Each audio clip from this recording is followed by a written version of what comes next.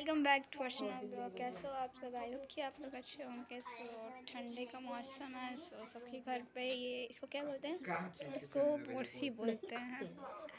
सो फिर देखो मीठी आयुष ये युवराज यहाँ पे बैठ के और आयुष धमकी दे रहा है कि बड़े पापा आएँगे तुमको देखेंगे नहीं खाते हुए तो बहुत पीटेंगे।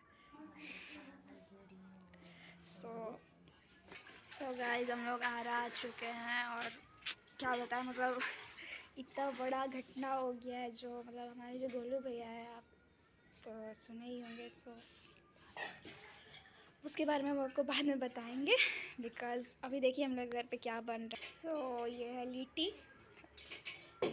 आपको मतलब ये हमको लग रहा है क्या उसको पुड़किया बोलते हैं ना मम्मी?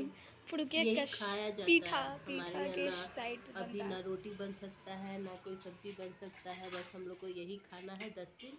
बढ़ती मम्मी के लिए बढ़ती मम्मी अच्छा बना रही तू शट अप मान बुद्धि और जाओ तुम लोग भी पढ़ो जाके। ठीक ना? सो गाइस अब मतलब क्या हुआ है क्या घटना हुआ है हम आपको मतलब बताएँगे। नेक्स्ट वीडियो में आपको पता चलेगा। तब तक के लिए बाय टेक केयर